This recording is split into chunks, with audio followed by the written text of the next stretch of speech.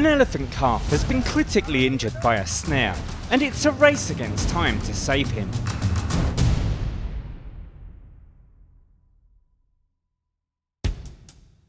In February 2015, the David Sheldrick Wildlife Trust spotted an elephant calf with a devastating injury. The youngster, estimated to be only one year old, had stepped into an illegal poaching snare and its wire had cut through to the bone. The mobile veterinary unit cleaned the wound on site and applied green clay, a natural remedy to aid the healing process and prevent further infection. Three weeks later in March, the team returned to check on the calf and saw that the wound had deteriorated. If they were to leave the youngster in this condition, in the brutal Kenyan bush, he faced certain death.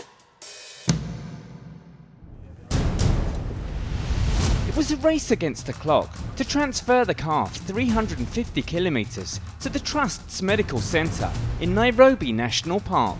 Once sedated, he was driven to a local airstrip where a plane was waiting. The team unloaded the 200 pound calf from the jeep and carried him on board. Before long he was airborne and one step closer to receiving the care he so desperately needed.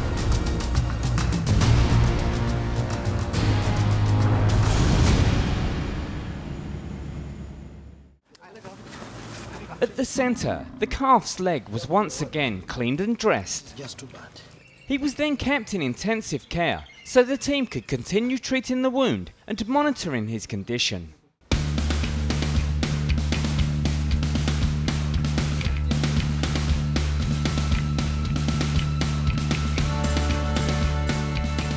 Incredibly, only three weeks later, the calf was well enough to be released into the centre's nursery where he joined other injured and orphaned calves. The team named the calf Mwashoti after the area in which he was found, and it's hoped that one day he'll be well enough to be released back into the wild. Two months after the rescue, he continues to thrive and has developed a close bond with Gil another young calf.